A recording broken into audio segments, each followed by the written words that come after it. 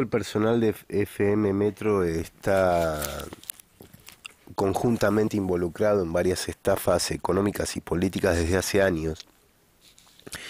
Las realizaron durante mucho tiempo. Eh, de hecho, acá estaban operando la muchacha esta que tiraba tarjetas de crédito cortadas a la basura junto a ella en un, en un piso y Franco Regnones en otro.